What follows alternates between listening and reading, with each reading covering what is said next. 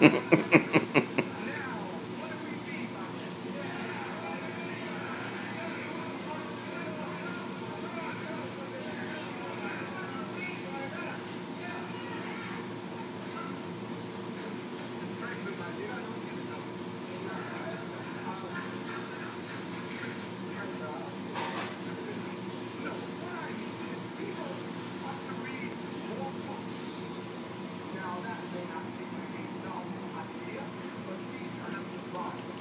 let me state my case. I guess you could call it a bookcase.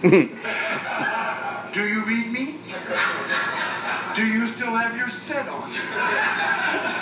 Yes, you see. You see. Oh. I love literature. Uh, that's why I live in a 10 story building. and each one of those stories has a low ceiling, so they're all short stories.